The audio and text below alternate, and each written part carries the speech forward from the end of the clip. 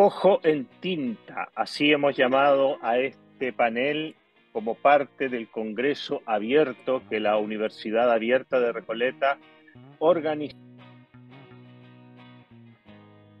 en varios lugares acá en la comuna de Recoleta y asimismo a través de estas salas virtuales que hemos implementado para todas y todos quienes presentaron sus ponencias, sus propuestas y no pueden estar con nosotros presencialmente. En el caso que nos ocupa, en el caso que nos reúne, vamos a estar eh, conectados a varios países de Latinoamérica y en nuestro caso particular desde la biblioteca Pedro Lemebel, la biblioteca pública municipal Pedro Lemebel, acá en plena comuna de Recoleta. Soy Cristian Reyes, director académico de la Universidad Abierta de Recoleta y les saludo, las saludo, los saludo a todos y todas quienes se van a unir a esta transmisión mientras la estamos desarrollando y por supuesto también a quienes la van a ver y escuchar durante las sucesivas retransmisiones que hagamos en la, a través de la página en internet de la Universidad Abierta de Recoleta, www.uar.cl. Ahí podrán encontrar a partir de los próximos días una gran em, difusión de los paneles que hemos desarrollado tanto presencialmente como virtualmente a lo largo de estos dos días. Hoy y mañana se desarrolla este Congreso Abierto de la Universidad Abierta de Recoleta, conmemorando los 50 años del golpe de Estado en el contexto de analizar el gobierno de la Unidad Popular, el gobierno que encabezó el presidente Salvador Allende y que a juicio de, nuestro, de nuestra institución tiene mucho, mucho, mucho todavía que legarnos, que enseñarnos y que compartir con nosotros a partir de la reflexión de nuestros de nuestros panelistas. Quiero saludar muy eh, fraternalmente desde acá, desde Recoleta, a todos y todas quienes van a presentar sus ponencias, a las que hemos titulado en términos generales como ojo en tinta, queriendo metaforizar, queriendo significar con ello el efecto del golpe de Estado, ¿no? No, el efecto de un golpe, de una cruel eh, y sanguinaria represión al pueblo chileno que se extendió desde aquel 11 de septiembre de 1973 prácticamente hasta el final de la dictadura en 1990 y que, claro, nos dejó con el ojo en tinta, nos dejó con mucho, mucho, mucho que pensar sobre lo que ocurrió, eh, cómo ocurrió y cómo eh, eh, lograr justicia, lograr eh, no repetición, lograr verdad, lograr em, aquello que nos pueda permitir continuar un camino que fue abruptamente eh, impedido por el golpe civil y militar del año 73, apoyado desde antes incluso que asumiera el presidente Allende, desde la Casa Blanca en Washington. Este ojo en tinta, además, es en tinta porque vamos a hablar de la literatura, vamos a hablar de la creación literaria y de las creaciones literarias que surgieron durante la Unidad Popular. Y como decía Pablo Neruda, mis deberes caminan con mi canto. Esto es la acción creadora y creativa de, una, de un eh, poeta, de una novelista, de una poeta, son acciones que siempre se dan en un contexto, en una situación frente a la cual el artista, el creador, el escritor, la artista, la creadora, la escritora se plantea, ¿no? Como decía también nuestra, nuestra querida eh, Gabriela Mistral, nuestra respetada Gabriela Mistral, a propósito de a propósito de un, de un otro dictador que tuvimos el desagrado de vivir en nuestra historia como, como chilenos y chilenas, uh, llamó a, a, ese militarista y a ese militar, don Carlos Ibáñez del Campo, para ser más exacto, cuyo nombre es actualmente el que lleva además la Escuela de Carabineros de Chile, el general Carlos Ibáñez del Campo, Eh, la poeta, la gran Gabriela Mistral, lo denominó como el eterno sargento de los golpecitos de estados americanos. ¿Mm? Allí tenemos entonces solo un par de ejemplos para dar contexto a este ojo en tinta y vamos entonces a conocer el trabajo, la ponencia, la participación y el saludo, por supuesto, desde Río de Janeiro, con Caroline Pérez. Ella es profesora y doctoranda en letras neolatinas por la Universidad Federal de Río de Janeiro y su exposición la ha denominado Cuestiones de género y reflexiones críticas sobre la dictadura chilena en la literatura. Estimada Caroline, muy bienvenida en nombre de la Universidad Abierta de Recoleta. Muchas gracias por la propuesta, por tu interés y escuchamos muy atentamente tu reflexión. Hola, muchas gracias. Entonces, soy brasileña, pido paciencia con mi español.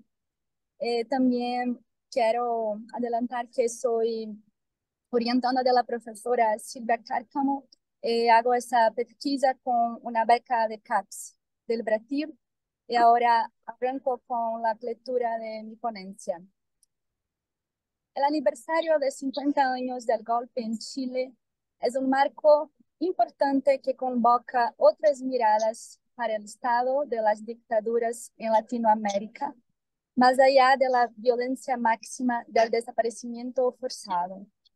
Por eso, la comunicación intitulada Cuestiones de Género y Reflexiones Críticas sobre la Dictadura Chilena en la Literatura objetiva abordar una síntesis del problema planteado en la tesis de andamiento.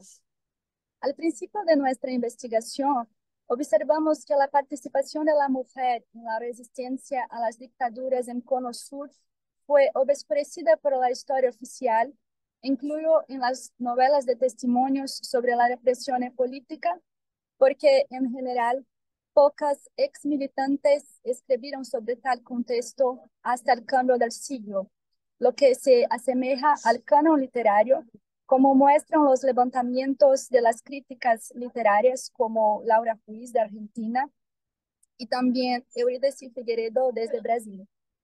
Además, de acuerdo con Hilary Finner 2015, el género también fue borrado de la publicación de la Comisión de la Verdad y Reconciliación de 1991 en Chile. Por otro lado, en caso de Chile, al contrario de Argentina y Brasil, por ejemplo, notamos una presencia más expresiva de mujeres desde los años 80 y 90, como la escritora Diamela Elchi. Nacida en Santiago en los años 40, Elchi creció bajo la dictadura de Pinochet a despecho de no integrar las organizaciones de partidos de izquierda. Y en 1983, aún sobre la dictadura de Pinochet, publica Lumpérica, su primera novela, pero llamamos la atención para otra obra, Jamás el fuego nunca, editada en 2007 en un contexto democrático y con otras agendas políticas y culturales, incluido en la izquierda, ven como de los movimientos sociales. El libro trae reflexiones críticas sobre la participación de las mujeres en las organizaciones de resistencia y también una otra mirada para la izquierda. Esa otra mirada, en la perspectiva de una escritora, recupera el protagonismo de las mujeres en las células políticas y pone en discusión temas complejos que fueron olvidados en los testimonios y memorias de hombres revolucionarios. Por ejemplo, destacamos la maternidad y las contradicciones presentes en la izquierda. O sea, mismo con el discurso ideológico y progresista de los hombres de los partidos, las mujeres ocupaban posiciones subyugadas y eran responsables por las tareas domésticas, por ejemplo, y el cuidado con los hijos.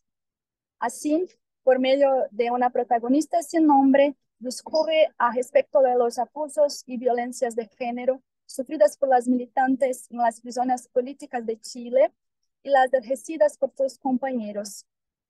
Al mismo tiempo que alegoriza en la novela, a partir de esa mujer no nombrada, la despersonalización del sujeto después de la tortura y prisión, y también la imposibilidad de romper con el pasado mismo en el presente por cuenta de los recuerdos traumáticos y la manutención de la opresión ejercida por su compañero, pues siguen viviendo juntos en una habitación que sofoca tal cual a un sitio clandestino del pasado.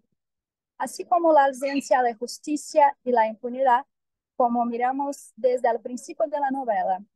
Cito ahora uh, Diamela. Cuando murió Franco, te pregunto, ¿en qué año?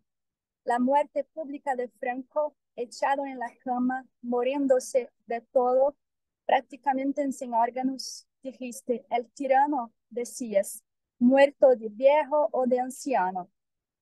Por fin, la narrativa de Diamela también problematiza las imposiciones de los movimientos de izquierda que impiden de socorrer a su hijo enfermo. Otra vez cito la novela.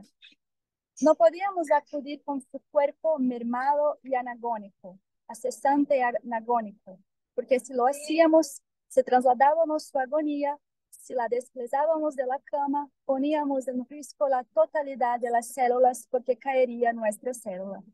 O sea, eh, también acá destacamos que sin punición, Franco disfruta de lo que fue negado a todos los opositores perseguidos en España, como ocurre con Pinochet, los dictadores también de Brasil y mismo en Argentina, muertos viejos y sin juicio por sus crímenes de violación.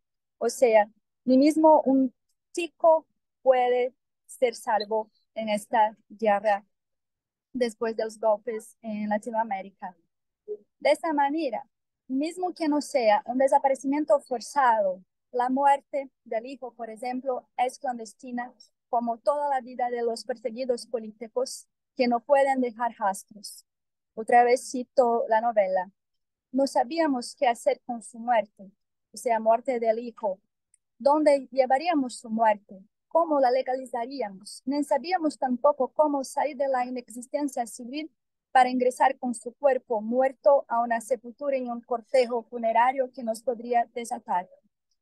Por eso, defendemos acá en esta ponencia la necesidad de presentar a partir de formas literarias nuevas miradas para recordar el pasado de las dictaduras y rescatar las voces borradas, como en Jamás del Fuego Nunca, cuya lenguaje es fragmentaria y cortada como las heridas abiertas de Latinoamérica, lo que aproxima el ti de otras escritoras contemporáneas de Brasil, Argentina, que vuelven al pasado para que jamás sea olvidado. Y, y una tentativa también de impedir la guinada de la extrema derecha y el avance del neoliberalismo, como en Brasil reciente del Bolsonaro, donde tuvimos un horror cuenta en cuenta de los avances que teníamos años atrás, por ejemplo, con la Comisión de la Verdad, quien eh, también troce, proponía la discusión de género eh, la militancia de, de, la mujer con más protagonismo. Entonces, eso, mi comunicación. Muchas gracias por la organización.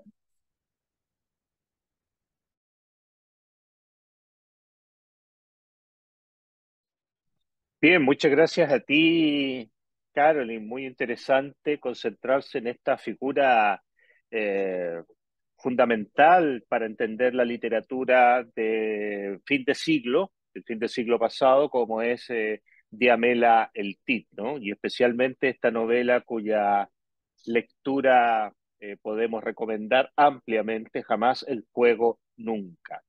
¿no? Creo que es interesante como como además tú abordas el, el hecho poco analizado hasta, hasta el momento, literariamente hablando, de la, de la participación de la mujer en la lucha contra las dictaduras. Eh, Diamela El Tita asimismo problematiza estos dos temas que tú has abordado, la despersonalización por una parte y lo que significa la muerte del tirano. Probablemente, de lo que yo recuerdo, el único que murió en la cárcel fue Videla en Argentina, merced a lo que podemos ver magníficamente narrado en la reciente película 85. Muchas gracias, estimada Caroline, por tu participación y por estar con nosotros eh, y por acompañarnos en esta conmemoración que quiere ser reflexión, que quiere ser apertura, que quiere ser eh, aprender también de los aciertos y errores para seguir construyendo un eh, Chile más humano, más justo, más inclusivo. Bien, vamos a pasar entonces a nuestro siguiente expositor, em, quien, me disculpan ustedes, voy a ir a la, al, aquí está. Vamos a pasar entonces a la temática que nos va a presentar José Salazar. Él es licenciado en Letras Hispánicas por la Universidad Autónoma Metropolitana, hispanista y estudiante de posgrado en teoría literaria. Y desde Ciudad de México, entonces, José, te damos la bienvenida y te entregamos la palabra y entiendo que tú vas a compartir una presentación que va a ir apoyando tu reflexión. Bienvenido, José Salazar, la palabra es tuya. Hola, muchas gracias, buen día a todos. Voy a compartir la, la diapositiva.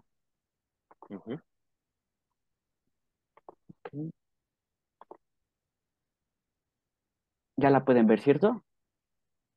Así es, así es. Perfecto, muy bien. Eh, pues bueno, el, texto que yo elaboré está enfocado a las representaciones eh, literarias de la Unidad Popular. Trabajo tres eh, autores, los cuales iré analizando, comentando a lo largo de, este, este texto. Ok, voy a, a leer. Al investigar las diversas representaciones literarias del gobierno de la Unidad Popular, uno se enfrenta con una escasez de estudios sobre el tema. Si bien son numerosos aquellos textos que analizan a la UP desde una perspectiva política, sociológica o económica, muy poco se ha dicho sobre aquellos textos literarios, ya sea poesía, teatro, cuento o novela que recreen el gobierno de Salvador Allende. Ante la mencionada cuestión, en el, en el presente ensayo me encargaré de analizar diversas obras literarias publicadas en 1973 que representen el periodo de la UP, de igual manera, propongo que, por medio de la lectura de las obras literarias utilizadas, se efectúe un recuento histórico de los tres años de gobierno. Para el análisis de tales representaciones, considero los siguientes textos. Una selección de poemas de incitación al nixonicidio y alabanza a la Revolución Chilena de Neruda, la obra teatral Una casa en Lota Alto de Víctor Torres, y diversos poemas incluidos en Señoras y Señores de Fernando Lambert. Estoy de acuerdo con lo que afirma Matías Ayala Muñita en su ensayo Producción literaria editorial durante la Unidad Popular, inserto en el libro La vía chilena al socialismo 50 años después. Cito, si, retrospectivamente, se compara la producción literaria con otras expresiones culturales, lo primero que parece destacar es su invisibilidad. Frente al cine, la música y la gráfica de murales y afiche, la literatura parece no tener un lugar importante en la cultura de la OP, son escasos los estudios de las producciones literarias durante la UP, no solo comparadas con las demás expresiones culturales ya mencionadas, sino frente a los estudios literarios que se encargan de analizar las obras escritas en el marco de la dictadura militar. A medio siglo del golpe de Estado militar, me parece fundamental repensar dicho periodo histórico que marcaría la historia no solamente de Chile, sino del mundo entero. Por lo tanto, considero de interés el estudio de las representaciones literarias del gobierno allendista. Ok, ahora pasaré a, incitación. Lo que yo, eh, lo que ustedes verán en las diapositivas son básicamente las citas o partes de los poemas que yo comentaré, ¿vale? Para que lo, puedan ir leyendo, repensando. Distintas obras literarias escritas durante la UP recrean la lucha de clases producto de las contradicciones económicas y políticas llevadas a cabo por el gobierno. El primer ejemplo se hace notar en los poemas Incitación al Nixonicidio y Alabanza a la Revolución Chilena, del 73, claro. El poemario fue editado por la editorial Quimantú y bueno, de acuerdo con datos de Mario Amorós, comenzó su circulación el 16 de febrero de 1973. Eh, Eulogio Suárez, por otro lado, menciona que prácticamente fueron arrebatados por el público en las primeras horas. Es así como el libro se vendió rápidamente, ya que, entre otros factores, como el interés por el autor y el precio simbólico, el poemario fue distribuido en librerías y como parte de las tareas de fomento a la lectura de UP, en kioscos. Es preciso plantar la siguiente idea incitación al nixonicidio es producto de los sucesos políticos, sociales y económicos acontecidos en Chile durante el gobierno de la Unidad Popular. Por lo tanto, eh, en este poemario, además de eh, Neruda comentar acerca del periodo chileno, va a hablarnos un poco de Cuba, de Vietnam, eh, como sabemos, países que también estaban viviendo un proceso bastante especial, pero bueno, en este caso me centraré, por supuesto, en aquellos poemas que hablan de, la unidad popular y, por lo tanto, como lo dice el título, incitación al nixonicidio remite a Richard Nixon, aquel, ser tan oscuro de, desde el Pentágono moviendo muchos hilos en, la política chilena, pues bueno, él va a ser el hilo conductor, Richard Nixon y sus, sus mecanismos imperialistas sobre las naciones encaminadas al socialismo. En el caso de la victoria, eh, el poema que están viendo ustedes en pantalla, recrea el triunfo de Salvador Allende en la elección presidencial del 4 de septiembre de 1970. El poema utiliza un tono épico para representar la victoria popular. Y bueno, eh, leo. Y así llegué con Allende a la arena, al enigma de un orden insurgente, a la legal revolución chilena, que es una roja rosa pluralista. Y fue con mi partido comunista, bello como desfile proletario, cuando en el mundo un día sobrevino este camino revolucionario. Hacia los pueblos alzo nuestro vino, con la copa a la altura de mi destino. De esta manera identificamos un primer suceso fundamental para Lope, el triunfo electoral. En el poema destacan los siguientes versos. Y así llegué con Allende a la arena, al enigma de un orden insurgente, a la, legal revolución chilena. A diferencia de los demás países socialistas o en vías al socialismo, Chile apostó por una revolución, digamos, democrática. De esta manera, Neruda afirma el peculiar carácter de la revolución chilena. Más adelante en el poema, el poeta menciona que la llamada revolución, liderada por Allende, es una roja rosa pluralista. El carácter pluralista de la vía chilena al socialismo apunta en dos direcciones. La primera refiere a la conformación misma de la OP, constituida por diversos partidos políticos, como sabemos por el comunista, el socialista, MAPU, entre otros. La segunda, al carácter pluralista del gobierno, su amplia alianza con la clase obrera y su respeto a las diferencias ideológicas y políticas de los demás sectores de la sociedad. No es mera casualidad que Neruda sea consciente de la importancia del proceso político que vivió Chile, eh, ya que el poeta fue militante desde 1945 de lo que él llamó mi partido comunista, bello como un desfile proletario.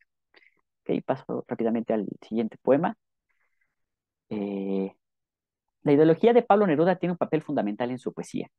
Su apoyo a la unidad popular no posee matices, lo cual se hace evidente en incitación al, nixonicidio. Cabe señalar que la representación de los miembros que conforman a la unidad popular será siempre distinto a aquellos que forman parte de la oposición, ya sea nacional o internacional. Asimismo, aquellos personajes que, sea por medio de empresas o gobiernos, busquen beneficios propios a costa del interés común de Chile. En el caso de los primeros, el poeta los representa de una forma épica, cuyos valores y atributos se, se distinguen por su positividad. En el caso de los segundos, utiliza un tono predominantemente satírico y de denuncia. No poseerán valores y se destacarán sus defectos.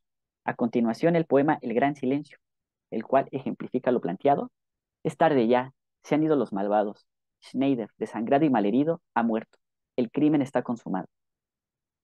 Un gran silencio cubre nuestras vidas, el estupor de un pueblo deshonrado, el clamor de la patria estremecida.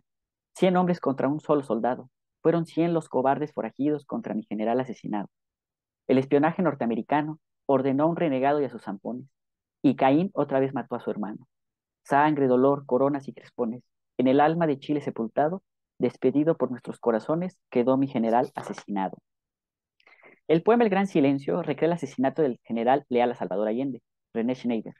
El crimen llevado a cabo por la CIA junto con el general Roberto Biaux y demás militares de las Fuerzas Armadas se perpetuó el 22 de octubre de 1970, a tan, solo dos, a tan solo dos días de que el Congreso ratificara a Allende como presidente de la nación.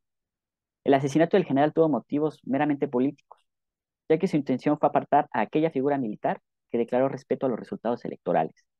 Además, el crimen pretendía sabotear la llegada de Allende al poder. De esta manera, eh, Neruda llama malvados, zampones, cobardes forajidos a, los asesinos de Schneider, mientras que a este lo representa de manera heroica, épica. A lo largo del poema sobresale un tono elegíaco ante la pérdida del general.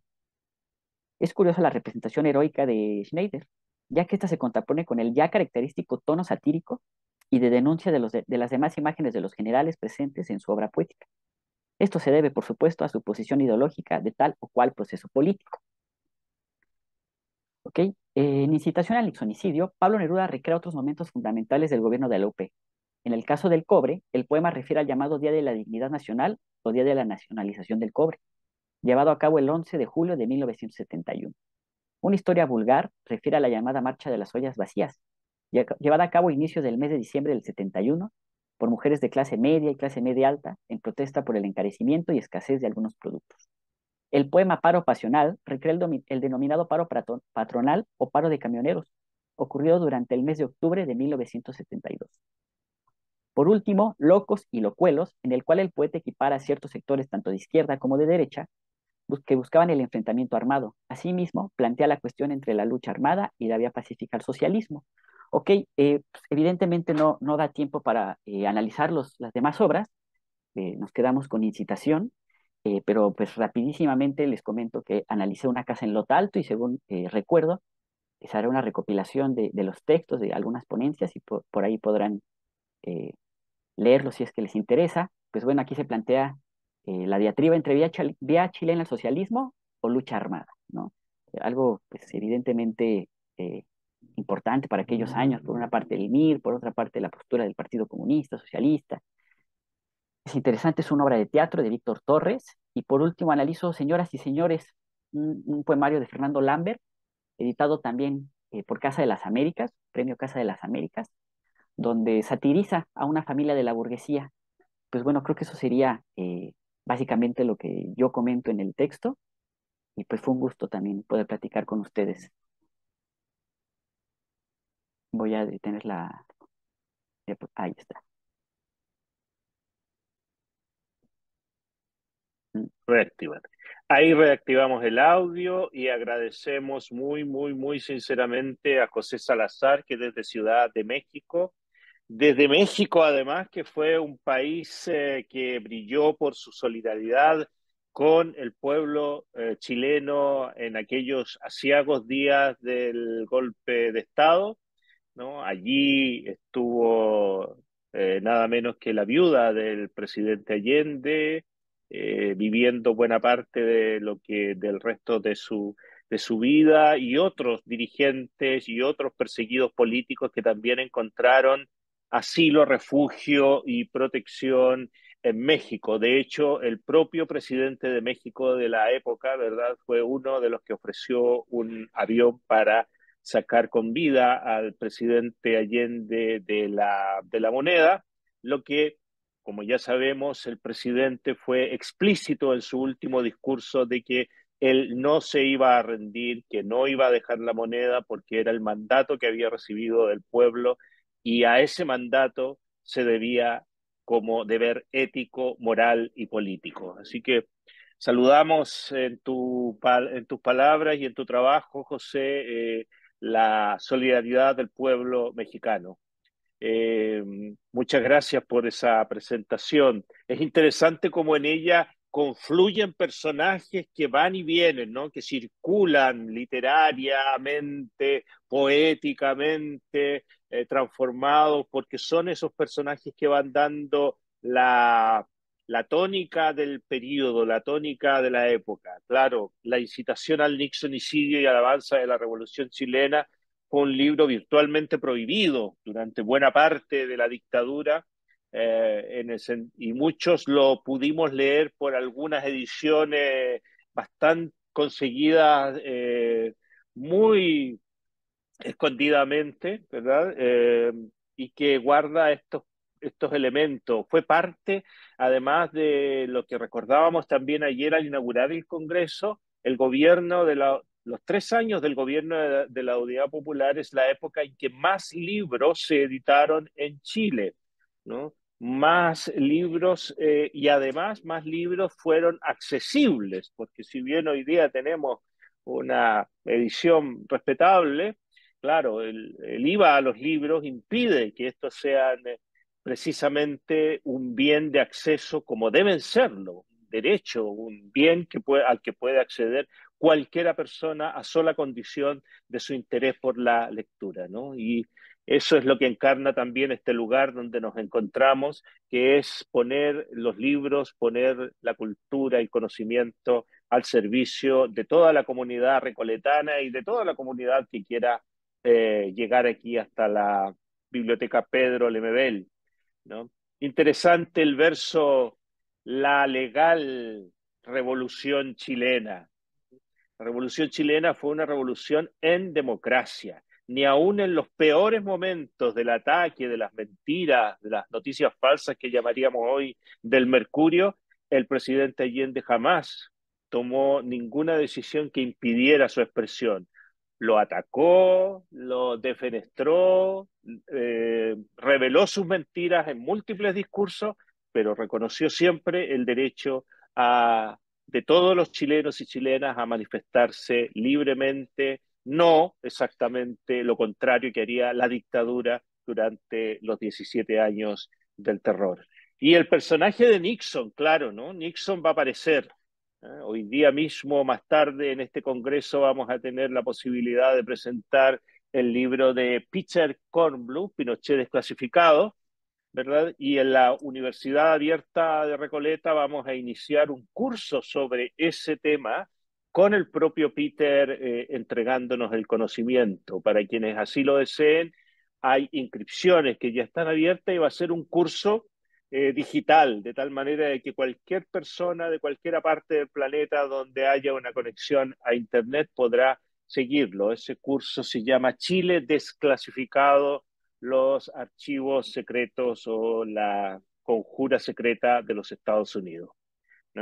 Eh, bien, muchas gracias nuevamente, estimado José. Y vamos ahora a Nada ni nadie está olvidado, aproximaciones a la figura del frentista, Frente Patriótico Manuel Rodríguez, en dos novelas chilenas de postdictadura. Este es el tema que nos ofrece Marcelo Sánchez, profesor de Historia y Geografía, licenciado en Historia por la Universidad de Playa Ancha, en Valparaíso, Chile, eh, magíster en Historia por la Pontificia Universidad Católica de Valparaíso y que se encuentra específicamente en la ciudad de Quilpué, allá en la quinta región, a quien saludamos y le damos la palabra para que nos presente su eh, trabajo. Eh, buenos días a todos y todas. Eh, efectivamente, mi ponencia se llama Nadie ni nadie está olvidado, aproximación a la figura del frentista en dos novelas de post-dictadura. Yo había tenido pensado, bueno, tenía realizado una presentación, pero por problemas de estabilidad del computador eh, no la voy a proyectar. Ya entonces voy a proceder a, leer eh, parte de la ponencia. Eh, bueno, comienzo. Se observa a nivel nacional cierto vacío respecto al estudio de los sujetos subversivos. Este se hace extensivo a la crítica literaria, en concordancia con una exigua producción de novelas que encuentra la vía armada como constructo de resistencia durante la dictadura militar chilena. Por ello se hace necesario explorar las distintas formas de representación que se han tejido sobre estos sujetos. A partir de lo anterior podemos enunciar que de los mundos y sujetos representados literariamente en relación con el periodo de la dictadura y la transición chilena, no todos han logrado la misma atención, provocando que algunas experiencias significativas como aquellas denominadas subversivas queden relegadas tanto de la historia oficial como desde su tratamiento ficcional. En ese camino, buscando leer cómo ciertas narrativas proyectan ficcionalmente las construcciones ideológicas y experiencias contextuales eh, de los autores por medio de la categoría de los sujetos guerrilleros que construyen en sus obras, hemos considerado dos novelas que tematizan sobre el frente. Una larga cola de acero de Ricardo Palma Salamanca y Por no matar al general de José Rodríguez Elizondo. Respecto a la primera novela, eh, publicada originalmente en el 2001, la figura de su autor, Ricardo Palma Salamanca, adquiere valor en la propuesta planteada debido a su doble rol, el de frentista y escritor. Su experiencia como frentista, su vida clandestina, su detención, fuga y la propia eh, ficcionalidad a la que su figura ha dado paso transforman su persona y su primera novela en fundamental para la propuesta. Esta comienza con una dedicatoria a nuestros combatientes rodriguistas. La dedicatoria nos sitúa eh, frente a un relato que actúa como homenaje y compromiso, el de novelar la historia del frente fomentar su historia desde la ficcionalidad. El propio autor en el epígrafe es enfático, no pretendía hacer un análisis del pasado, solo contar algunas cosas. Que uno hable de un pasado colectivo no significa que sea la única voz o que en su defecto seas como una versión oficial.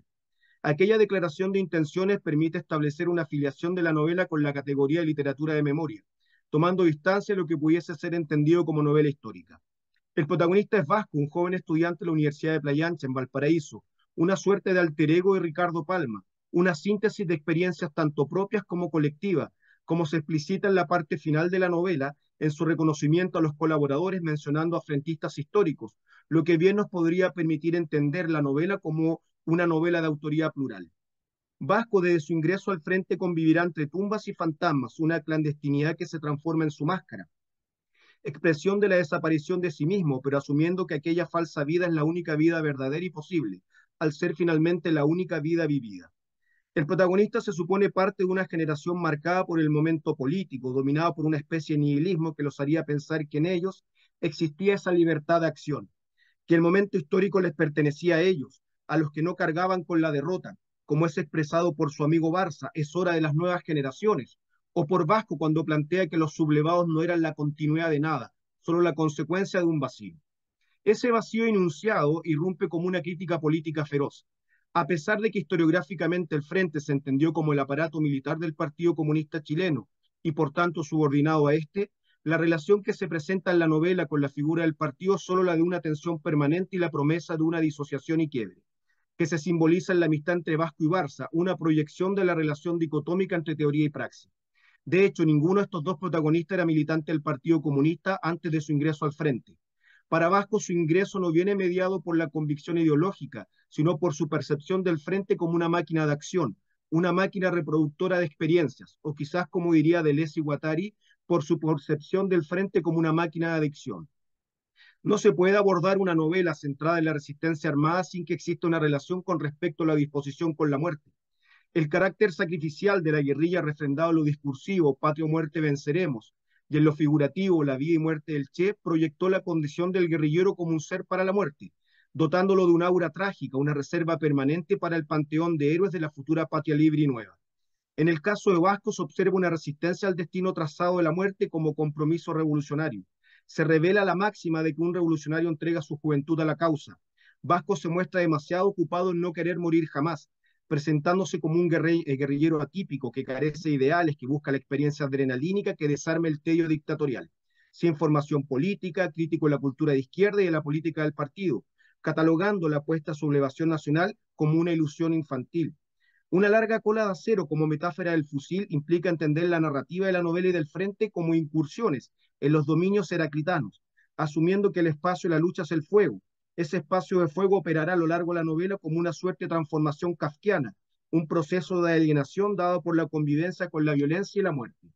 Ante esa vida clandestina, la derrota militar y política, la muerte significó la muerte simbólica del personaje, pero es una muerte que viene con una certeza, la que nunca otros podrán contar la misma canción. La transfiguración de Vasco no aparece mediada por la ideología, sino por la cotidianidad y los afectos, la asimilación de ser parte de un colectivo y el sentir la muerte de sus compañeros. Por otro lado, por no matar al general de José Rodríguez Elizondo, periodista y diplomático de carrera, publica su novela en plena transición en 1993. En ella aborda la derrota y el fracaso de las utopías simbolizadas en la figura de César Ampuero, un periodista peruano con aspiraciones de novelista, y Leopoldo, Chepo, músico chileno, militante comunista en un autoexilio donde sostiene un discurso político setentero que carece ya de destinatarios. El secreto que articula esta metaficción es el misterio que rodea al músico Chepo y su supuesta participación en el atentado al dictador. Las sospechas giran en torno a un viaje poco claro que realizó Chile en el mismo mes del atentado a Pinochet, que lo ubica no solo como posible fusilero, sino como quizás el último de los que dispararon al tirano esa jornada. Pero junto a lo anterior también pesa sobre él los rumores de ser un infiltrado en la resistencia chilena. Los sucesos posteriores al atentado fallido llevan a Chepo a buscar protección en la casa de un policía primo de su expareja Amparo. Esta acción permite desplegar una crítica profunda a la puesta armada simbolizada por el Frente Patriótico. En esos pasajes de la novela se levanta la, elucubración futura respecto a los sucesos potenciales que hubiese abierto las acciones de este grupo de haber logrado la muerte al tirano lo que termina por levantar un reconocimiento y ensalzamiento a la salida política electoral de 1988, que puso fin a la dictadura, lograda efectivamente por no matar al general, impidiendo así la extensión del régimen y la mitificación y monumentalización del dictador. La apuesta del frente y su deseo de ser vanguardia en este despliegue narrativo se termina por presentar como un afán pueril, un acto infantil, propio de una juventud sin experiencia sostenido solo en el coraje, dispuesto a la muerte para terminar de una vez con vidas que nunca se, eh, se sentirían plenas. A esa muerte como vasco se revela Chepo, transformándose en una sombra, un sujeto en fuga de sí mismo, evadiendo la muerte que lo acecha tanto los organismos de seguridad de la dictadura como de sus propios compañeros si se enteraban cómo había logrado salir del país. La única forma de sostener su vida era callar, no reconocer su participación, negar su rol en la historia por eh, trágica y fallida que fuera, renegar de Laura y la épica de haber sido parte de los fusileros. Callar era sobrevivir, aunque eso fuese sumergirse en el más profundo tedio y fracaso de sí mismo, envuelto en la rotunda mediocridad que envolvía su figura extrapolada al propio frente. Los guerrilleros, el sostén de resistencia armada contra la dictadura de esta manera en la novela, son eh, reducidos a un puñado de adolescentes imaginados llorando mientras escuchan las palabras del presidente Allende con el himno del frente de fondo en la antesala de su gran fracaso por no matar al general. A modo de reflexiones finales, ambas novelas, a pesar de la distancia temporal de su publicación, comparten en la ficcionalización de sus personajes una crítica profunda a la cultura de la izquierda, develan una tensión permanente entre teoría y praxis, la que puede extrapolarse a los propios autores, un ex guerrillero y un diplomático. Ambas novelas hacen patente lo que Lyotard definió como incredulidad con respecto a los metarrelatos, mediante el agotamiento discursivo y la, y la crisis de las grandes utopías. La crisis de la modernidad, reflejada en el nihilismo de Vasco y en el tedio de Chepo, sujetos huérfanos de su tiempo. Ambos personajes comparten historias similares producto de sus militancias. Se observa cierta rebelión al canon revolucionario ya que toman distancia de la muerte como sacrificio, un elemento consustancial de la promesa del hombre nuevo. En el caso de Vasco es el asesinato de sus compañeros lo que activa un compromiso con la muerte, una que les esquiva pero que se reafirma, eh, reafirma en su compromiso con las acciones realizadas como frentista. En cambio, en Chepo se observa una subversión paródica del testimonio guerrillero. En él hay cobardía, una vida temerosa y la reflexión constante de que hubiese sido de él de haber tomado una decisión distinta, una reflexión que pone distancia respecto a su pasado, reconociéndolo como la razón de su miseria, a diferencia de Vasco que ve en la clandestinidad de su vida una forma de triunfo, una reafirmación de que volvería a vivir lo vivido, un proceso de subjetivización que puede describirse como un tránsito, que lo lleva desde una condición alienada hacia otra, en la que encuentra finalmente su condición verdadera, la de ser frentista. De esa manera, eh, considerando las reflexiones de Amar Sánchez y Abelar respecto a la distinción que realizan entre perdedores y derrotados, podemos manifestar que Vasco irrumpe y es presentado como un antihéroe. Sabiéndose derrotado, tiene una convicción que moviliza su accionar, el arrastrar consigo la historia de su tiempo. Y a partir de esa particular visión del mundo continúa su lucha política, mediante la decisión de no acomodarse en este mundo neoliberal ni acatar sus normas, desapareciendo, a diferencia de Chepo, que es subsumido en la mediocridad del fracaso propio y epocal. Por tanto, mediante dichas categorizaciones se establece una aproximación y distinción entre las subjetividades que ambas novelas han develado, la de los frentistas entendidos como perdedores, representados en la figura de Vasco, y la de frentistas derrotados, simbolizados en Chepo. Por esto es solo una interpretación, ya que como nos dice Ricardo Palma Salamanca, que uno hable de un pasado colectivo no significa que sea la única voz o que en su defecto sea como una versión oficial. Eh, gracias.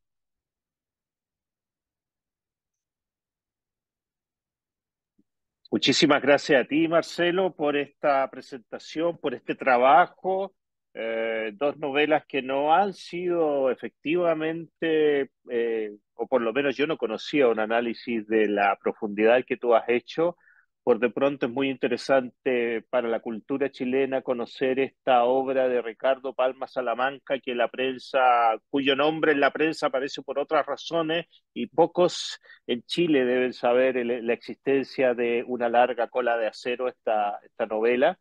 Y por cierto, la novela de Rodríguez Elizondo por no matar al general tal vez en esta línea de caracterizar al guerrillero, al frentista o la denominación que sea, podemos incluso vincular eso con cómo el tema va desarrollándose hasta llegar, por ejemplo, a la novela de, del propio Lemebel, ¿no? Tengo miedo torero, donde nuevamente incursiona desde otra mirada respecto a las convicciones, al sentido, a la lucha que, que encarna este personaje, este tipo literario ya a estas alturas de, la historia que constituye el guerrillero, el que prefiere eh, la lucha armada, el que va por la, por la revolución con toda la, violencia que, que ese término suele asociar, ¿no? La crítica a la izquierda, los huérfanos de su tiempo, como tú lo, has llamado, son em, eh, personajes siempre atractivos y que nos revelan también esa, las propias contradicciones que se están viviendo en su tiempo, en su historia y en su desarrollo. Muchas gracias, estimado Marcelo, por esa reflexión. Y ahora entonces nos vamos a trasladar a Buenos Aires, aun cuando quien nos va a presentar esta ponencia es eh, profesora y candidata a doctora de la historia, en historia, perdón, de la Universidad de Santiago de Chile, educadora popular, eh, y su exposición se titula Revista Onda, Juventud, Sexualidad y Revolución a la chilena, 1971-1973. Saludamos desde la distancia a Yani Santa Cruz. Bienvenida, Yani. La palabra es tuya. Muchas gracias. Voy a proyectar. Ustedes me avisan si hay algún problema. Lo vemos em, perfectamente. Excelente. Entonces, bueno, comentarles que eh, mi presentación tiene que ver con un análisis que yo realicé respecto de la revista Onda en el contexto de, mi tesis doctoral. Comentarle que eh, Revista Onda es editada por Kimantú y nace con el objetivo claro de disputar el espacio con una de las revistas más masificadas entre los y las jóvenes de la época, como fue la revista Ritmo eh, de la editorial Lord Cochrane. Nace el 17 de septiembre del 71. Uy, se me, se me cambiaron un poco las letras, pero se entiende.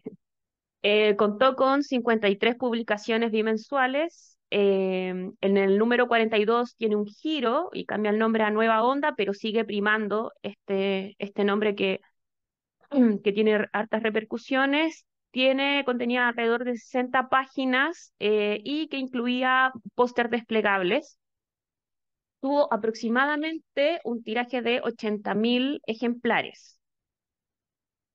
Eh, bueno, como les mencionaba, Onda se eh, incorpora a este, mm, esta revista, se posiciona como un medio de comunicación que disputa un discurso contrario a, la revista Ritmo, cuya información, eh, que en palabras de sus editores, Francisco Leal, era, comillas, superficial y frívola, cuya fuente no era otra que la insípida farándula.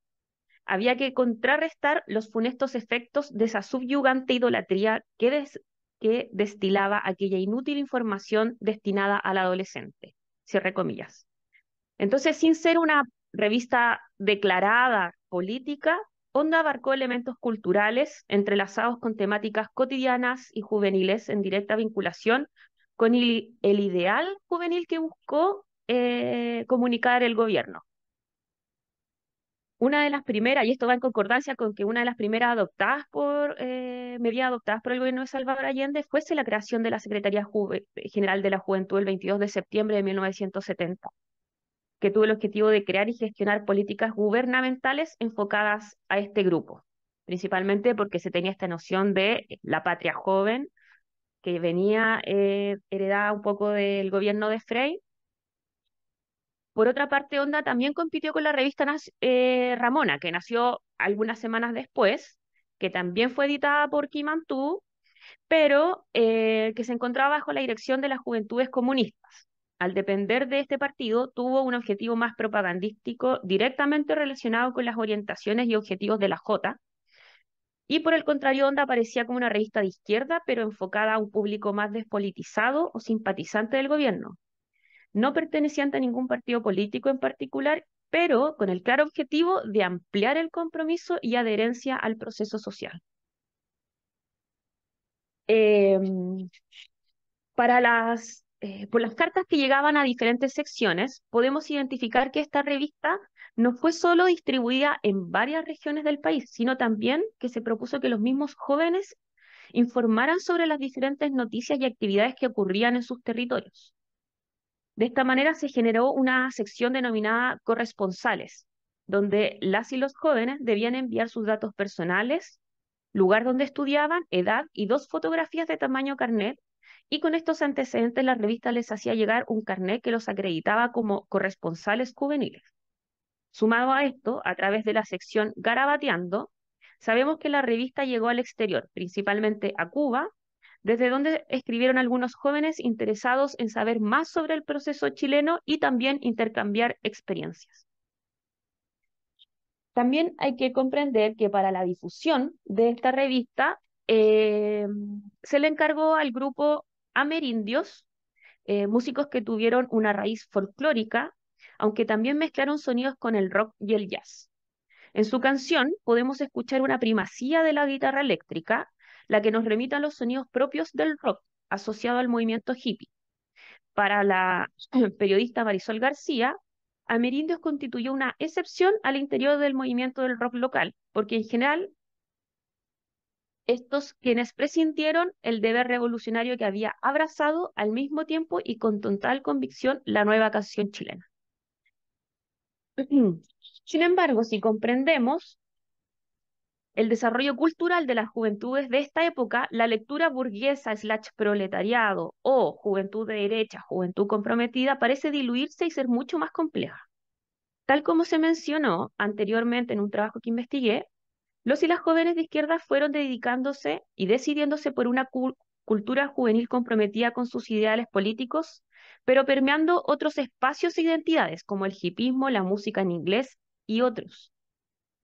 La música y las actividades culturales tuvieron una atención central en esta revista. El objetivo fue considerar a los músicos y a los artistas como trabajadores de la cultura. Esto también se puede visualizar en la construcción de la UNTAC 3, por ejemplo cuando se llamó a los y los trabajadores a participar en este proyecto. En palabras de Leal, otorgale un espacio insigne en este proceso político-cultural. En sus páginas podemos observar reportajes, noticias, cancioneros, no solo de música chilena y latinoamericana, sino también la influencia de la nueva ola, el rock extranjero, en particular encontramos la presencia de los Beatles, en varias de sus ediciones e incluso tomando la portada de alguno de ellos. Pareciera ser que este grupo en especial es transversal y tolerado de alguna manera en todas estas culturas juveniles. La revista estuvo llena de símbolos que nos llevan a la estética del hipismo y la psicodelia. Ahora yo reviso la gráfica, la música, la editorial, el tratamiento de la sexualidad y la política. Vamos a observar rápidamente, aquí están un poco las imágenes de la gráfica, como se ve ahí, por ejemplo, el submarino clásico de los Beatles y la tipografía. profundizaré, por ejemplo, en la revista Hondo, que al igual que Ritmo y Ramona, eh, contó con un personaje que se llamó Hondo, el que describió acciones que dieron cuenta de una línea editorial de la revista, pero eh, era mucho más irónico, era como un personaje desordenado, pero que presentaba la cotidianidad juvenil y presentaba también problemáticas em, cotidianas como el desabastecimiento, sea, problemáticas políticas como el desabastecimiento, el paro de octubre, entre otros. Entonces ahí hay, yo les puse un extracto que dice que es nuestro personaje más importante, porque finalmente lo hace un poco lúdico. También la revista trató temas de sexualidad a partir de tres secciones. La información sexual, que estaba a cargo de la Facultad de Filosofía y Educación de la Universidad de Chile, la unidad de sexología, específicamente la profesora Irma Barón. Y aquí se trabajaron diferentes temáticas como la menstruación, masturbación, poluciones nocturnas, orgasmo femenino, entre otros, lo que buscaba ser eh, mucho más pedagógico. También incluía esquemas, etcétera. También habían reportajes y entrevistas que eran mucho más eh, sueltos, por así decirlo, y posteriormente en el número 42 se incluyó la sección ¿Cuál es tu problema? que para mí eh, esto, esto tuvo un giro mucho más conservador, ¿ya? Eh, criticando, por ejemplo, la homosexualidad, el gorreo, la infidelidad, entonces poniendo a la familia como el centro. Em, y también la revista se preocupó de los temas del deber ser, de alguna manera, y cómo esta juventud tenía que estar en concordancia con las problemáticas sociales vinculadas al proceso social, a través, por ejemplo, de eh, la de la sección La Juventud Interroga, donde interrogaba a diferentes ministros y las políticas que se llevaban, y también la relevancia que hubo de los trabajos voluntarios. Todo esto se cierra en el 73, por supuesto, y haciendo un símil o contrarrestando, eh, aparece la Secretaría Nacional de la Juventud, em, y se saca la revista Secretaría Nacional de la Juventud por la dictadura y la Junta Militar. Muchas gracias.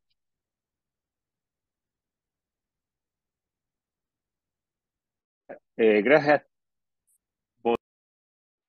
reactivar. Ahí estamos. Gracias a ti, Yanni. Muy interesante, muy recordada además para los jóvenes de la época la, la revista Onda. Los que éramos más chiquititos en esa época teníamos otra revista también producida con una, con una intención eh, de, de dirigirse a un público etario determinado que se llamó la revista Cabro Chico, ¿no?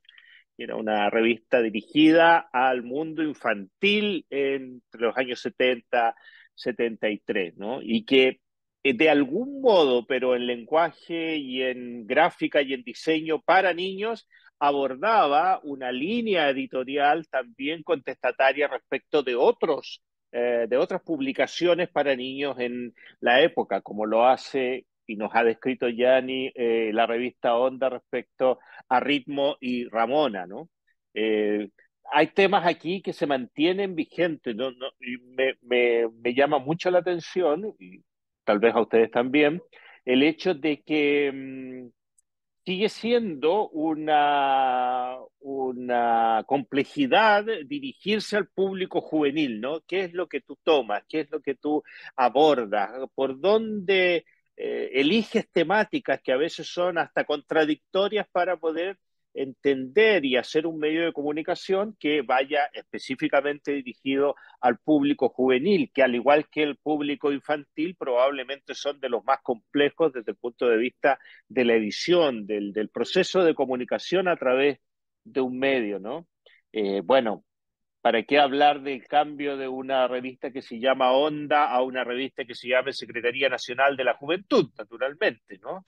Eh, solo el nombre da cuenta de la pobreza de la segunda, la poca capacidad de, de creación y la, el intento de la primera de ir más allá de los estereotipos, ¿no? Eh, finalmente, para los chilenos y chilenas, esto que hacía la revista Onda con eh, la información sexual sigue siendo un problema. Han pasado 50 años prácticamente desde esa época y una revista que tuviera ese contenido, más allá, claro, de la evolución cultural que ha significado el feminismo, la inclusión, las diversidades, pero el tema sigue siendo un tema fundamental para entender la, la sociedad chilena y nuevamente vemos, en este caso, en esta constitución ultraconservadora que está surgiendo del Consejo Constitucional, vemos cómo sigue siendo el tema sexual, el aborto, el derecho de las mujeres a decidir sobre su cuerpo, temáticas que están vigentes desde 73, desde hace 50 años, probablemente desde antes, ¿no? Hay algo ahí que cruza el mundo valórico, el mundo, la cosmovisión de la idiosincrasia chileno que sí, la idiosincrasia chilena digo que sigue siendo problemática para construir nuestra, nuestro presente y nuestro futuro. Muchas gracias, eh, Jenny, por tu, por tu trabajo, por tu eh, aporte y por haber confiado también en este congreso para exponerlo. Y ahora nos vamos con eh, Juan Carlos Celis. Juan Carlos Celis, intuyo, infiero, como no estaba al inicio, que está en Colombia, ¿no? Sí, en Bogotá. En, Bogotá. Muy bien, un saludo entonces a las hermanas y hermanos colombianos eh, a través tuyo. Juan Carlos es profesor de la Universidad Nacional de Colombia, sociólogo de la Universidad de Antioquia, magíster en estudios urbanos regionales de la Universidad de Antioquia y nos va a presentar a un autor en particular, a un sociólogo chileno eh, que vivió buena parte de su vida fuera de Chile después del golpe, que se llama Hugo Semmelman. Y a través del pensamiento de Hugo Semmelman, eh, eh, Juan Carlos nos ofrecerá un pensamiento, una reflexión sobre la experiencia de la unidad popular para replantear el pensamiento y la práctica política de las izquierdas y los movimientos sociales, como una síntesis ya en plano teórico, ¿verdad? Un plano reflexivo de lo que hemos visto en las obras concretas, las obras de creación literarias, poéticas que hemos visto y la obra también comunicacional, en el caso de la revista Onda, que hemos visto hasta ahora. Estimado Juan Carlos, bienvenido la palabra es tuya. Muchas gracias. Muchas gracias, un honor estar acá. Voy a hacer, a compartir presentación. ¿Cómo hago? Eh, compartir, compartir, pantalla, Juan Carlos. ¿Ya se puede ver? Se ve. Ah, bueno, listo. Bueno, eh, muy rápidamente en estos 10 minutos, eh, pues Hugo Semelman Merino nace en Chile en 1931 y muere hace 10 años en Pátzcuaro, México. Se van a cumplir 10 años de su fallecimiento en el 5 de octubre de este año.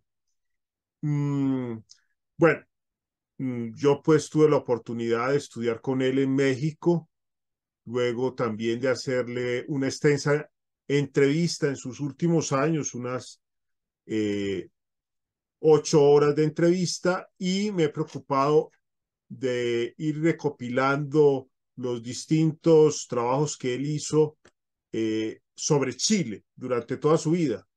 Pues eh, Hugo fue, eh, estuvo pues vinculado a la sociología chilena antes de salir al exilio, al Departamento de Sociología, al Partido Socialista Chileno, fue director de su revista Arauco durante la década de los 60 eh, y en Chile, estando en Chile antes del exilio, pues produjo un, un trabajo importante sobre sociología rural.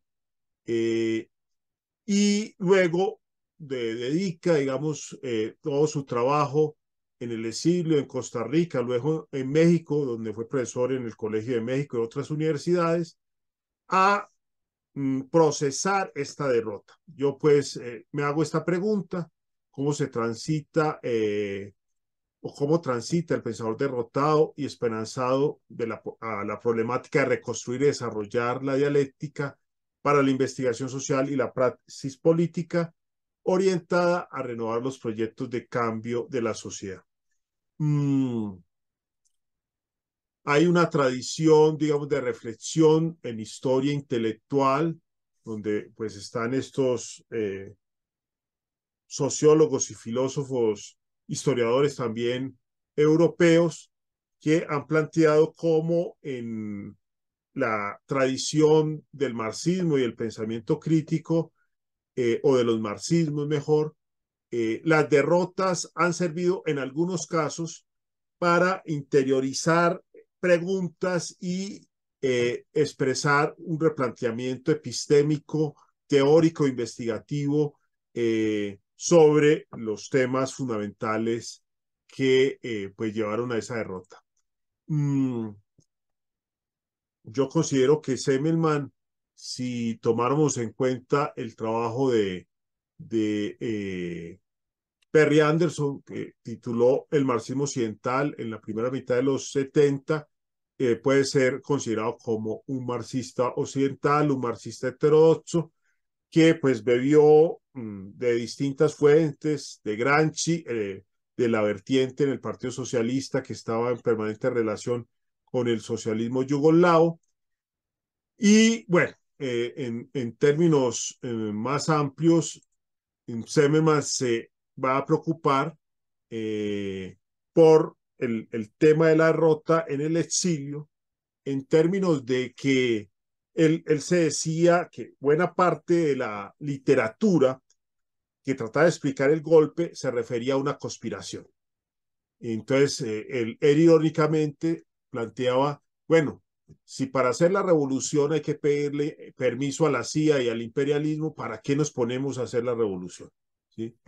Eh, lo otro que él, él reflexionaba era que Chile en aquel entonces tenía una gran riqueza en desarrollo de las ciencias sociales, además era receptáculo de eh, exilados brasileros eh, y de otros intelectuales de Perú como Aníbal Quijano, bueno, eh, de, de, Brasil, los que fueron fundadores de la teoría de la dependencia, Jorge, eh, Enríquez Cardoso, el mismo Teotonio dos Santos, bueno, de, de el caso de franceses como Almar Matelar o, o alemanes como Guten Frank, eh, norteamericanos como James Petras, con el cual escribió algunos trabajos sobre la reforma agraria en Chile.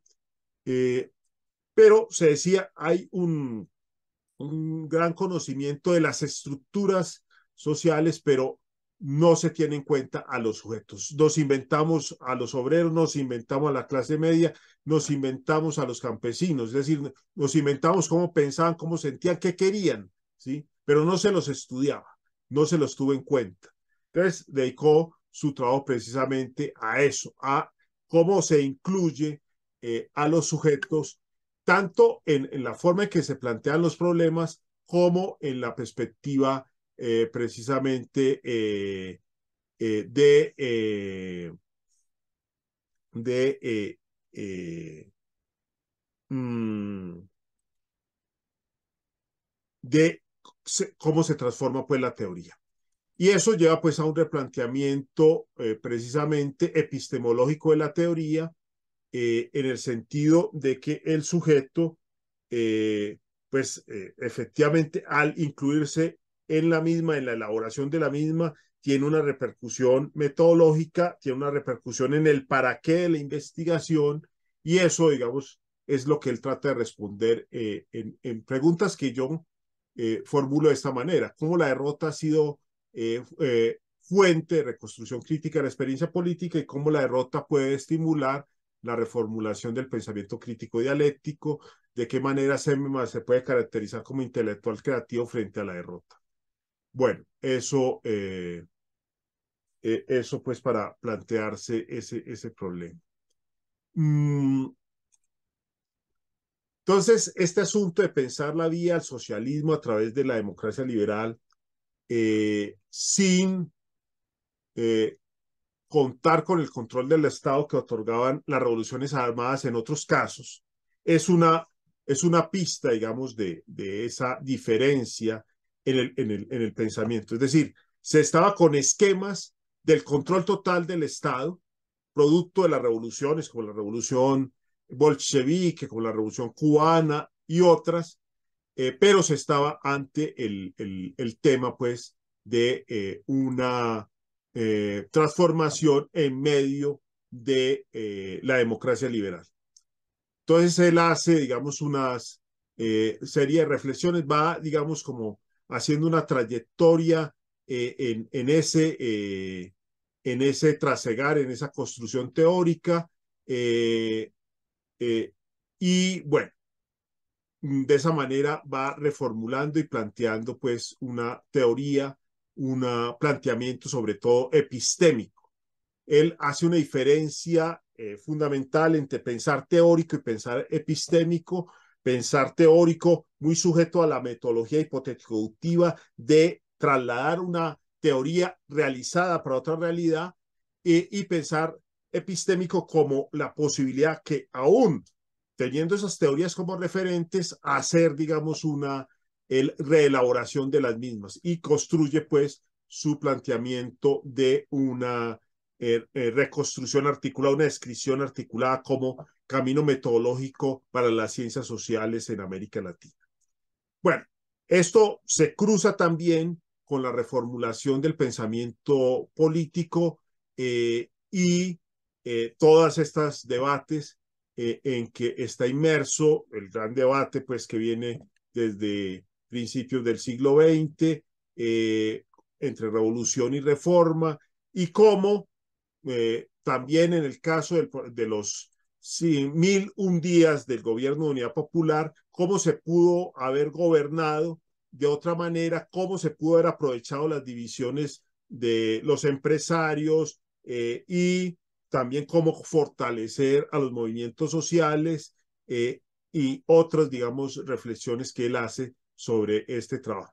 Yo he recogido pues los materiales que él escribió en vida sobre, sobre el proceso de la unidad popular, tanto de cómo se gestó ese proceso en la historia chilena, tal vez desde la perspectiva de, de la década de los 30 hasta los 70 y qué se generó después y qué sucedió en esos mil un día, son más o menos dos mil páginas las que él, eh, él desarrolla sobre esto en unos 40 artículos que desafortunadamente no se han tenido muy en cuenta en la bibliografía que he revisado sobre la unidad popular.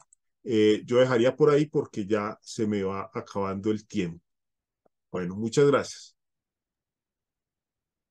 Muchas, muchas, muchas gracias a ti, estimado Juan Carlos. Gracias por abrirnos también al conocimiento de un eh, sociólogo, de un intelectual chileno, que claro, eh, en el tráfago, en la vorágine misma, habiendo vivido la vorágine misma de lo que significó el golpe de Estado, reflexiona desde sus, eh, desde sus epistemologías sobre eh, el sentir, ¿no? Y más allá del sentir, la, la reflexión o la lección eh, científica, racional, sociológica que podemos generar a partir de haber vivido un proceso político que aquí podemos hacer alguna, algún diálogo con el propio Semmelman, ¿no? Que él lee como una derrota, pero tal vez deberíamos profundizar en esa, en esa noción de derrota a la luz de lo que hoy día estamos conociendo, probablemente no se había publicado en Chile nunca tanto estudio y tanta reflexión sobre eh, la unidad popular, sobre el proyecto de la unidad popular y cómo vamos demistificando además una construcción histórica que entre el negacionismo y la mentira ha ido construyendo, ¿verdad? un castillo de naipes, una apariencia de lo que fue y quiso ser la unidad popular que afortunadamente en estos 50 años y si algo, de algo sirve en esta, esta conmemoración, empieza a abrirse paso, entre otras, con los aportes que ustedes nos han hecho en esta, en esta ocasión. Eh, veo que no tenemos preguntas. Si alguien desea de los que están eh, en, la sala hacer alguna pregunta, por favor, alguno de los ponentes por favor plantéelo. Yo tengo una para todos, ¿eh? una para que pudiera cada uno hacerse cargo de ella, a partir, por supuesto, de la ponencia que presentaron, ¿no? Estimada Caroline, Marcelo, José, Yanni, Juan Carlos. A juicio de ustedes, ¿no? Y a partir del estudio específico que ustedes nos han presentado, ¿Qué podemos desde allí, o, qué puede desde allí eh, ofrecernos para hoy y para construir un eh, futuro, un Chile, un país no sometido a la hegemonía neoliberal? ¿Cómo, ¿Cómo podemos eh, a partir de esto, a partir de, del ámbito que ustedes deseen, ¿ah? puede ser el ámbito de la creación, el ámbito de la edición, el ámbito de las comunicaciones, como es el caso de lo que abordó Gianni, ¿verdad? El ámbito de la, eh, de la reflexión ya más teórica, epistemológica, como lo planteó Juan Carlos.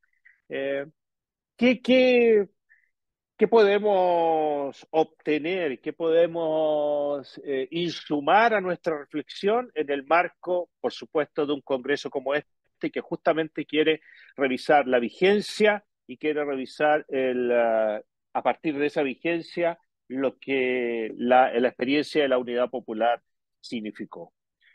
Quien quiera empezar, dejo la palabra eh, libre estimadas y estimados panelistas.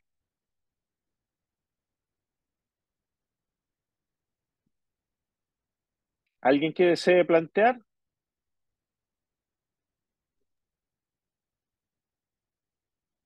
Marcelo, dale.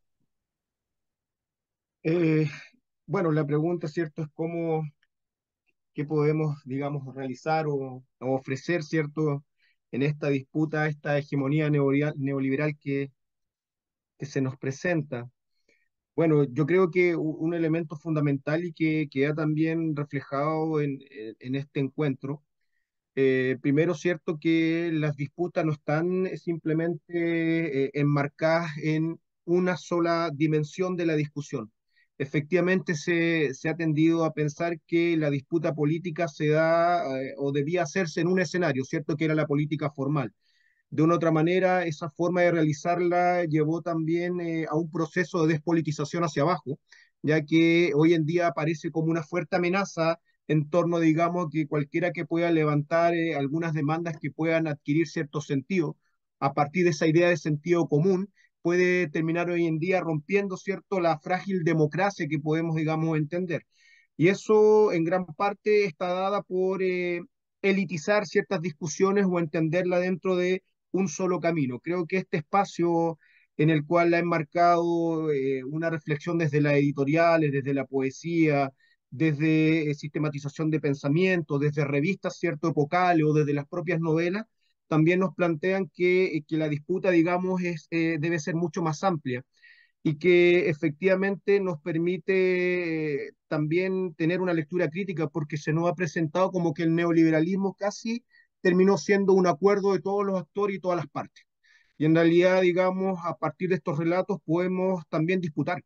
Y esencialmente eh, es a partir de la historia, el conocimiento de ella en todas sus versiones, no solamente las que pueden aparecer más románticas o también, digamos, más institucionalizadas, deben ser también los caminos para que podamos comenzar a confrontar lo que hoy en día aparece casi como una verdad eh, que nos aplasta, que pareciera ser que no hay otro camino que el modelo neoliberal. Pero en la medida que no discutamos, claro que seguirá siendo ese solo el camino. Entonces creo que por ahí va, digamos, también la riqueza en el cual cito, eh, voy, eh, situó también este encuentro.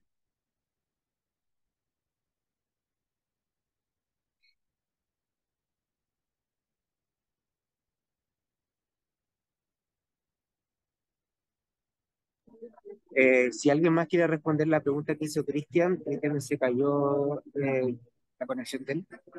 Creo que ya ni iba a responder, ¿cierto?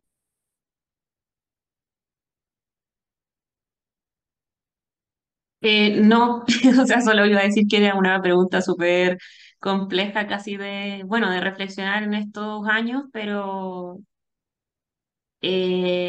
estoy súper de acuerdo con lo que mencionaba Marcelo súper de acuerdo. Creo que logró sintetizar lo que todos nosotros y nosotras queremos hacer, un poco posicionarnos hoy día desde una resistencia súper dura, eh, pero también colocar las tensiones que tenía el mismo proyecto de la Unión Popular. O sea, eh, y verlo en largo aliento, porque muchas veces eh, también tiende a, a, a, analizar la Unión Popular como si fuese una isla, como solo estos tres años que ocurrieron y la verdad es que no, había toda una sociedad eh, que había tenido un proceso de aprendizaje, había cuajado mucha experiencia. Cuando yo analizo, por ejemplo, onda el tema de la sexualidad, era por, no porque floreció todos estos, estos tres años, sí se cristalizó, creo yo, pero eh, hay una experiencia social eh, muy importante que de alguna manera se cristaliza y que solemos mirar un poco la institucionalidad pero en el caso de la juventud, es una juventud que ya había desarrollado muchos aprendizajes, que ya venía cuestionándose lo conservador, sea de la izquierda, de la derecha, de centro, de su familia. Eh, entonces, creo que mi invitación también es a leer la Unidad Popular no como una isla de estos tres años, ni como estos mil días solamente, sino que como toda una sociedad produjo un aprendizaje de largo aliento, que obviamente fue aplastado de manera muy radical.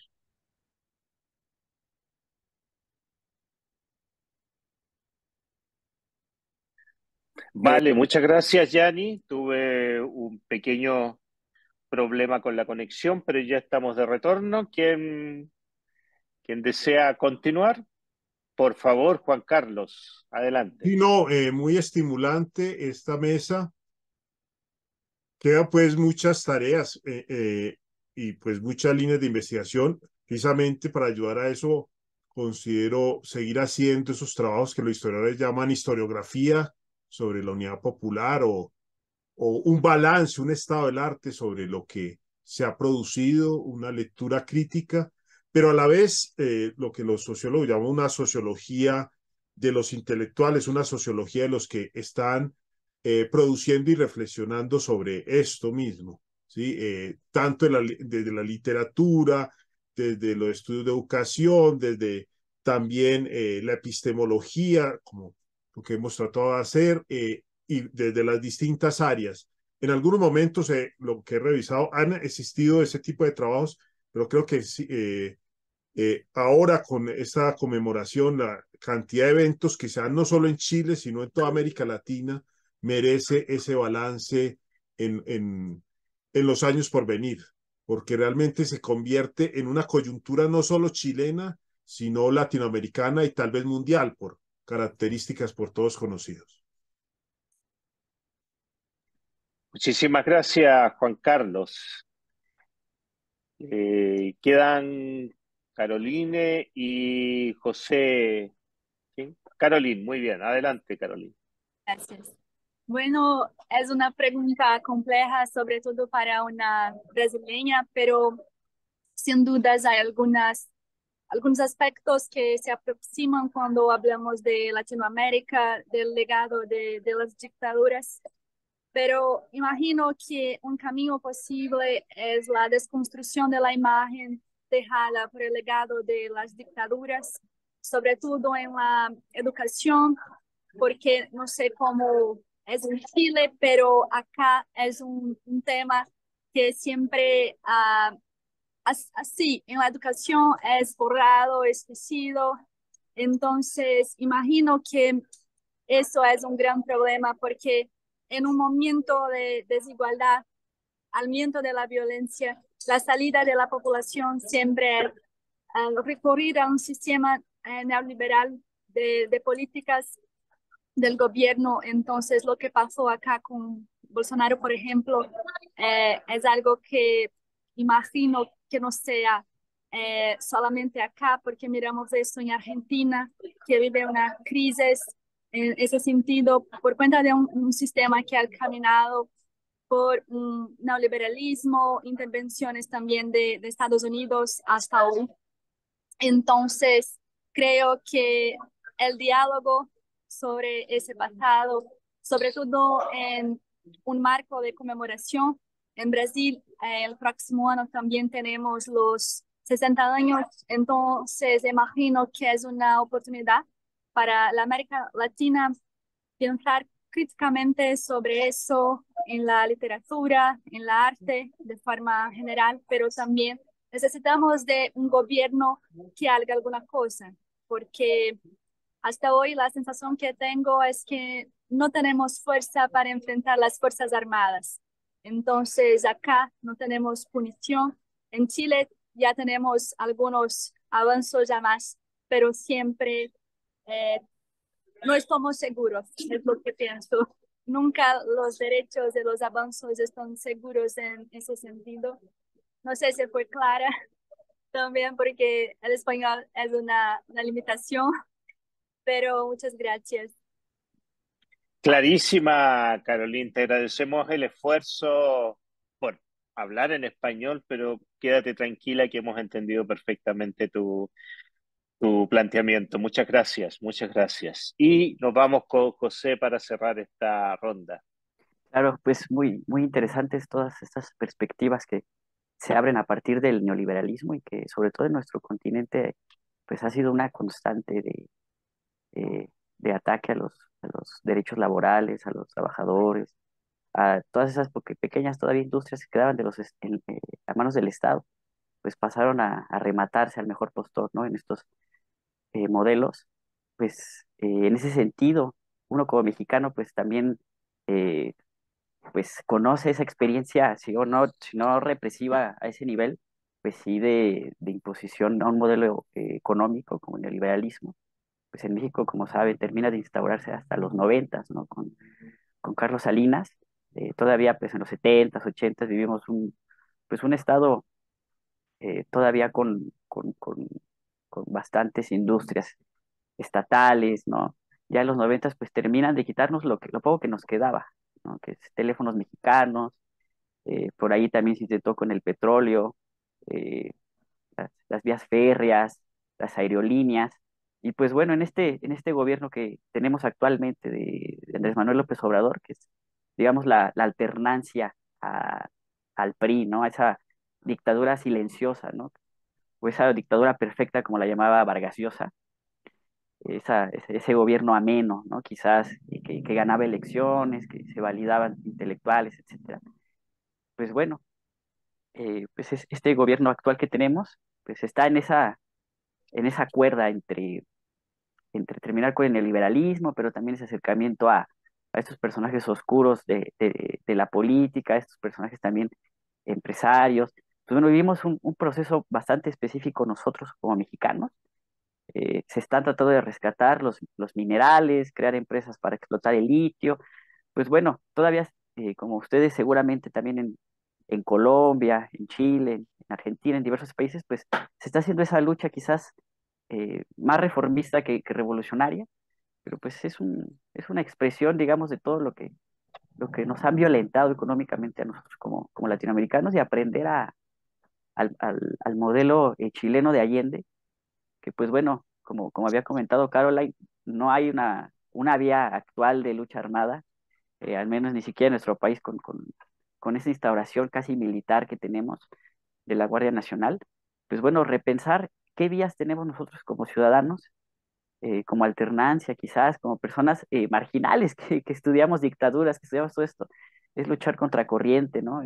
Contra el establishment, contra lo agradable, contra lo que quiere ser escuchado, lo que quiere ser vendido y, pensar mucho en ese, en ese proceso de Allende, ¿no? Pensar también, como dijo Yanni muy interesantemente, pues no surge así de, una, de un boom, ¿no? Así de pronto una explosión, no, hubo una instrucción bastante profunda en los trabajadores, desde, bueno, desde recabarren, desde esos periódicos, desde esas luchas en, las periferias, en las minas, en Iquique, bueno, pues ustedes saben mejor que yo, ¿no? Sobre, la historia chilena, pero aprender también de ello, aprender que pues, los procesos son, son tardados, que los procesos también eh, debe haber una, una lucha, digamos, prolongada, una concientización a, los sectores, y pues también agradecido que, nos hayan abierto el espacio acá desde México, siempre abierto a, a, al chileno, ¿no? al latinoamericano, cualquiera que, que necesite estar por, por aquí, pues bueno, ya tienen mi contacto y con todo gusto, aquí andamos. Muchas gracias, estimado José. Un abrazo también para ti. Y creo que ya estamos cerrando y vamos a, porque no, no, me parece que no hay preguntas en el, en el chat. No, no hay, así que voy a, con tres con tres elementos que me parecen relevantes. Un elemento y dos invitaciones, en verdad. Primero, gracias, gracias a todas y todos ustedes por haber eh, eh, aceptado la invitación de la Universidad Abierta de Recoleta a este congreso desde sus distintos lugares, por hacernos, eh, por incrementar la riqueza de análisis de ese periodo, de su vigencia y de lo que hoy día todavía sigue eh, vivo en el ideal, en la acción, en la, en la impronta de lo que fue el proyecto eh, de la Unidad Popular. Gracias, eh, Caroline, gracias, Marcelo, gracias, José, Juan Carlos, Yanni. Em, la primera invitación a quienes están siguiendo esta transmisión o a quienes la van a seguir es a acercarse a, los, a las obras y, a los, y al pensador que nos han presentado, ¿no? Diamela, el TIT, eh, la incitación al Nixonicidio y al avance de la revolución chilena de, Neruda, eh, las novelas de Ricardo Palma Salamanca y de Rodríguez Elizondo que nos presentó Marcelo, la revista Onda, recoger, recorrer esas páginas que nos pueden decir todavía, como decía Yanni, mucho de lo que, de lo que estaba fraguándose después de un proceso y lo que sigue desarrollándose, incluso como veíamos hasta nuestros días. Y por supuesto, la lectura de Semmelman, siempre iluminadora. Ayer, en la inauguración del Congreso Abierto, el alcalde de la comuna, Daniel Hadway, gran eh, líder de este proceso y particularmente de esta conmemoración, nos recordaba que no solamente tenemos que fijar nuestra vista en los 50 años del golpe de Estado en Chile, sino en otras tantas conmemoraciones de golpes de Estado en Argentina, en Uruguay, en Brasil, en Bolivia, en Ecuador y en Perú, con más o menos diferencias. La historia de Latinoamérica, la historia de nuestros pueblos parece tener que hacerse sobre la base de la lucha, sobre la base de la reflexión, sobre la, sobre la base también de la creación literaria, como buena parte de ustedes eh, nos lo ha presentado. Dos invitaciones que yo les hago a ustedes, panelistas en particular. Tenemos abierta en la universidad un proceso de postulaciones, de propuestas docentes para el próximo año. Para nosotros sería un honor si ustedes pueden revisar esas posibilidades. Pueden ser propuestas docentes virtuales y también presenciales. Así que si estás fuera de Chile, también puedes perfectamente dar alguna clase en sala virtual de las que están planteadas. Eso en nuestro sitio, uar.cl. Están abiertas esas posibilidades hasta fines de noviembre, así que hay tiempo, revíselas con cuidado, cualquier duda que tengan, ahí también aparece un correo para consultas.